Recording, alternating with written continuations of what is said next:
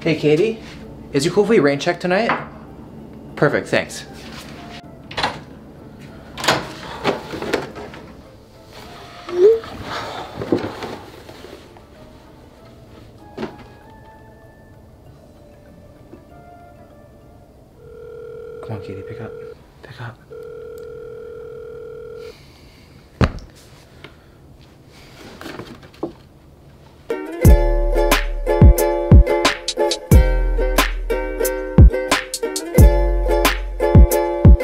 What is going on guys? Will here.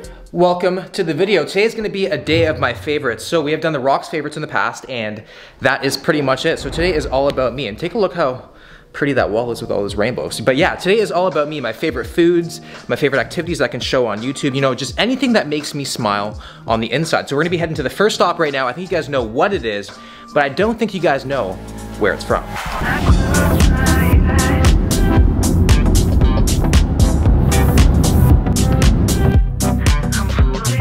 Hi, can I get a large dark roast black, please? Anything else? That's everything. Thank you. Thank you. Thanks a lot. You too.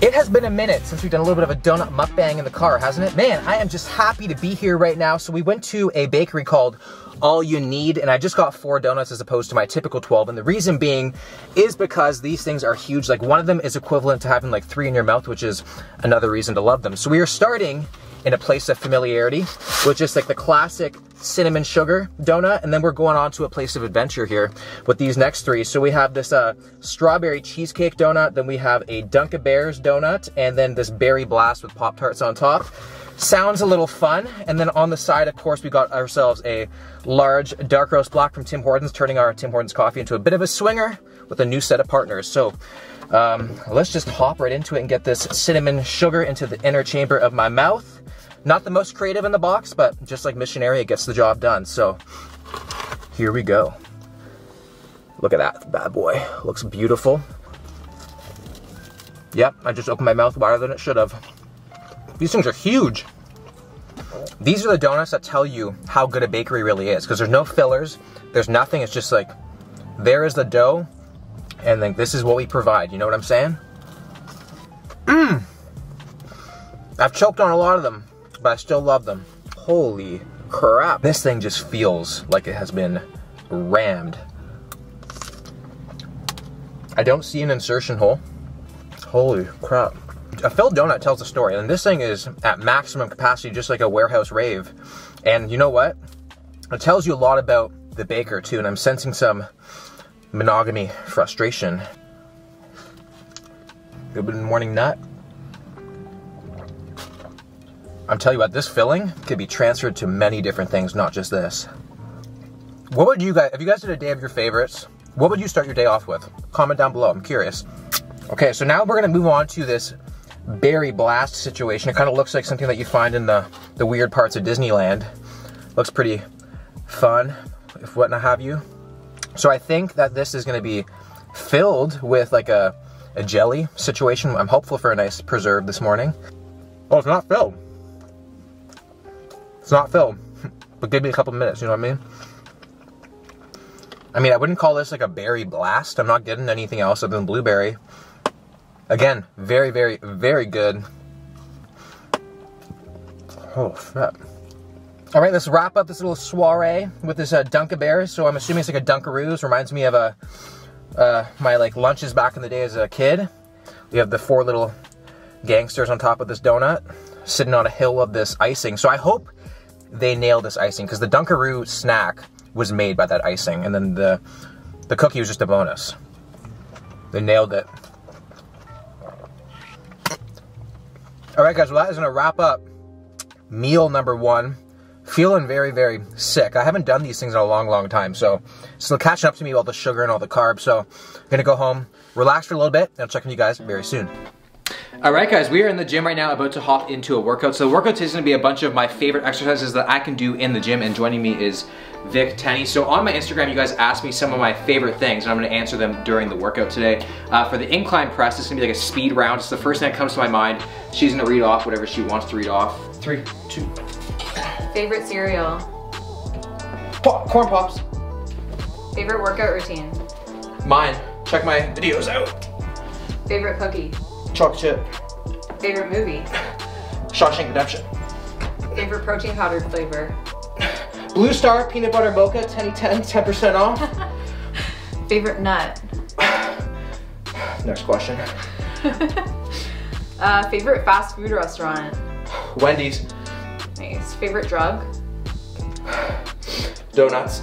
Oh, I like that. Favorite fitness YouTuber. Will Tennyson. Okay, that is set number one. Moving on to set number two, and I just watched the footage back and I realized I just, I hit a PR. I got 12 reps there and I was hoping for like around 10, so which is pretty, pretty strange. So hopping into set number two. Yeah. Favorite thing about your own body. My nose. Favorite personality trait of yours. Mischievous. Favorite book. Kama Sutra. Uh, favorite Harry Potter character. Hermione. Definitely Hermione. I agree. Hit me. Favorite vegetable. Zucchini. Uh, favorite song. Slow dancing in a burning room, John Mayer. Uh, favorite lift. Lift. Yeah. Overhead press, which we're doing right now. Okay, so for the overhead press, it's gonna be a little bit different than the incline press. So the incline press is more like a rapid fire. So for this, I'm gonna press up and I can't come back down until I answer the question. What's your favorite form of cardio, smirky face? Rowing.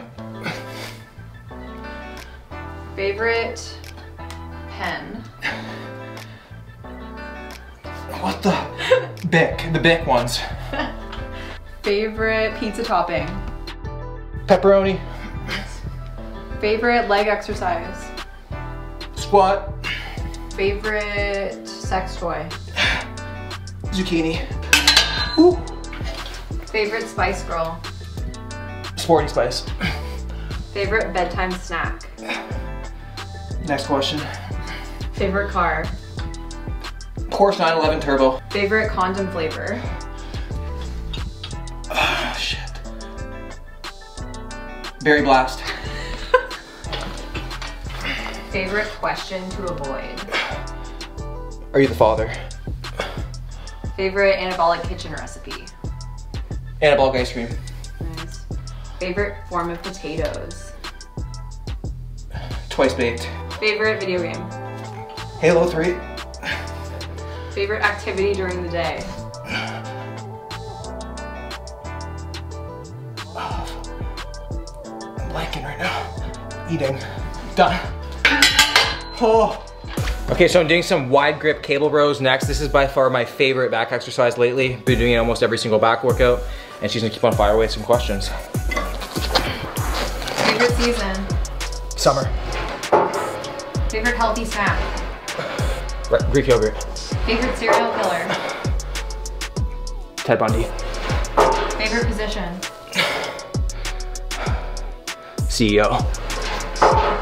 Favorite actor. Jake Gyllenhaal.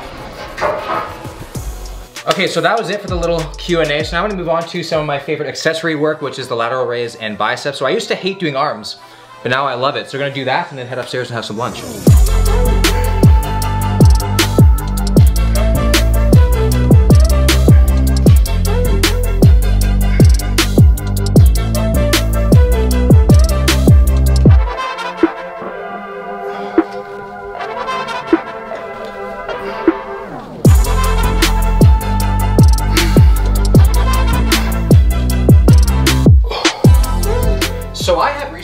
Cutting. I also have a very big appetite, as you guys know. So I have made a lot of great friends along the way. So today we're gonna honor them with a little bit of a dieting tribute. So I'm gonna put a tray together of my favorite cutting foods. So it's gonna be very high in protein, very, very filling, and very low in calories.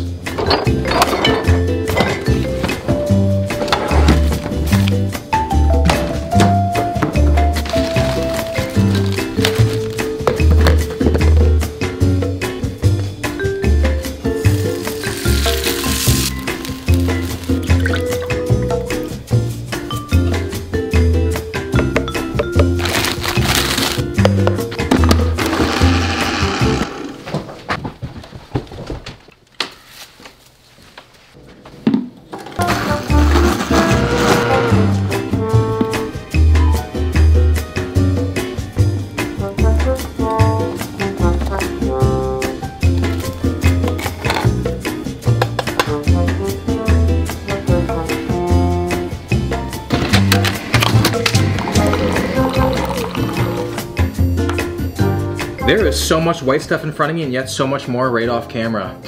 So this is like a anabolic tapas, anabolic charcuterie board, if you will. So we got some cauliflower rice, egg whites, Greek yogurt, ricotta cheese, rice cakes, zucchini, coffee, anabolic ice cream. All of these foods have proven to satisfy my various hungers, whether that's my stomach or more carnal desires. So I don't even know which one I'm gonna start with first. I think I'm gonna go with, we gotta go with the anabolic ice cream. It's just like the treat. I look forward to this every single night before bed. And if you guys are an anabolic ice cream like lover, get a plastic spoon, McFlurry spoon. It makes a world of a difference. It's like having coffee in a to-go cup. Just makes it a lot better. Moving on to the cauliflower rice. So I've never seen the cauliflower in those microwave pouches before until now. And again on this channel, we're having cauliflower in not its purest form. Have we ever thought to think to ask cauliflower if it wants to be all these things? Like, I don't know. I feel like we don't appreciate the actual vegetable for what it is. We're just, we're always just manipulating it in so many different ways. A little bit of yogurt and some rice cake. One of my favorite snacks. Ooh. it's gonna be hard to time lapse this thing. It's a lot of volume of food. You know what's pretty funny? That whole tray and then this whole blender is probably less calories than one of those donuts I had this morning. It just goes to show you, like your food choices actually really matter. And I mean, if you lived off all this solely, you'd be pretty shredded, although you'd probably have some sort of a, a fat deficiency, so I wouldn't recommend it. But if you're looking to cut and lose some body fat, these are all fantastic options.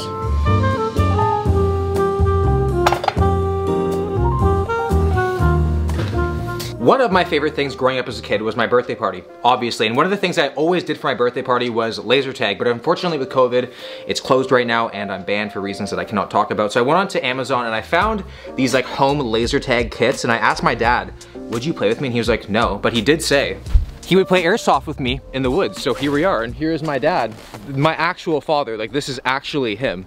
Hey dad. So we're gonna go 1v1 airsoft and see what happens. Uh, gonna get him back for all these years. So gotta keep a close eye on you because I know you can just disappear, but just like that, you know? So quick little uh, fact about my dad.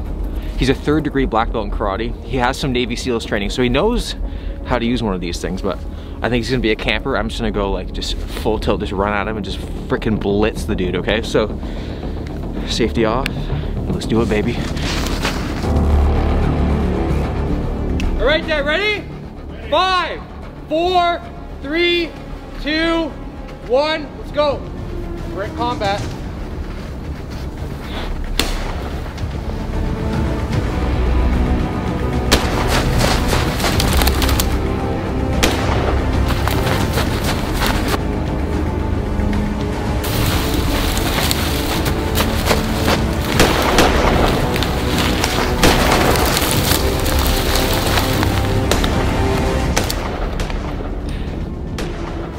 UAV's online right now, man. I know exactly where you are.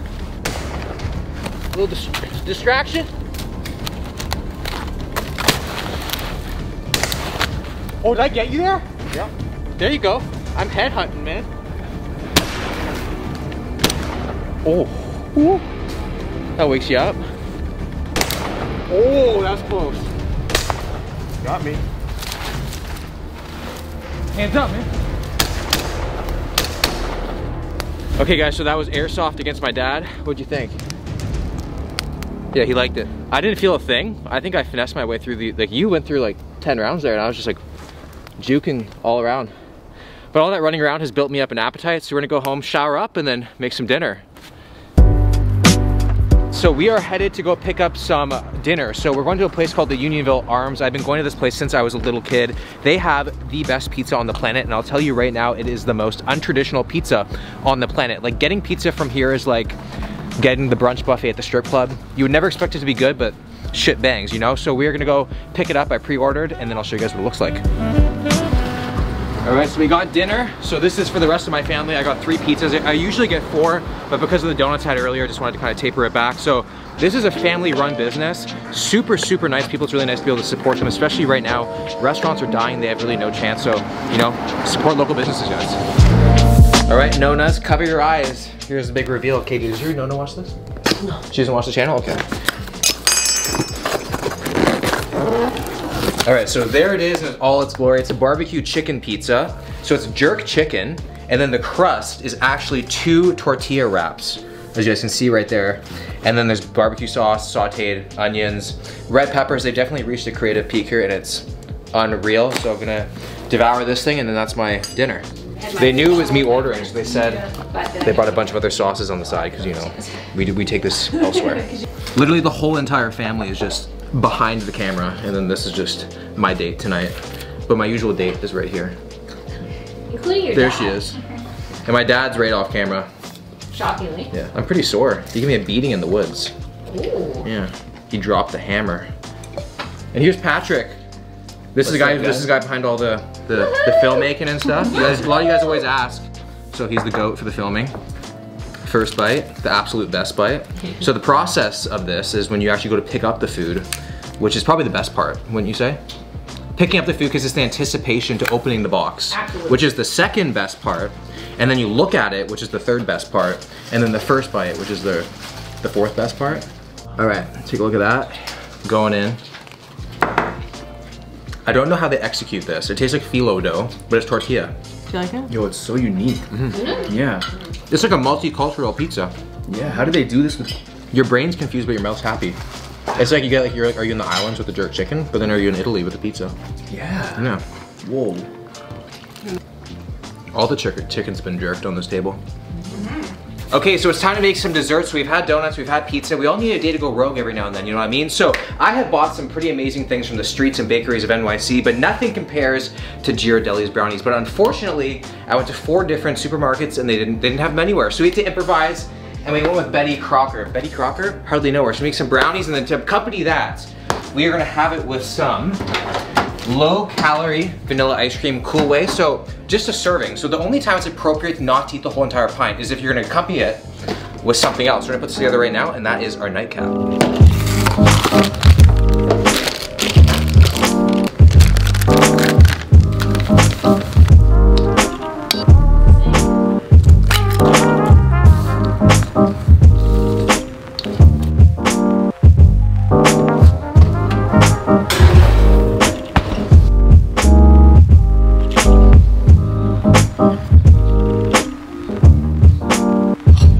Let's see what Betty Crocker is all about. So it sounds like the name of someone's great grandmother, so hopefully it doesn't taste like one. And uh, I have high expectations. I'm comparing it to Ghirardelli's right here. And I'm gonna go no ice cream for the first bite. Oh, she tastes great. That was rich, that's moist. It is so chocolatey, it's a little bit underdone. Because I didn't realize brownies take like 38 minutes in the oven. So we took it out probably like 10 minutes early, couldn't wait. So I'm gonna enjoy the rest of this. I'm actually watching my favorite TV show of all time, How I Met Your Mother. And I'm gonna wrap up the video here. That was a full day of my favorites. If you guys enjoyed the video, please give it a like, subscribe to the channel if you're new, and I'll see you guys in the next one.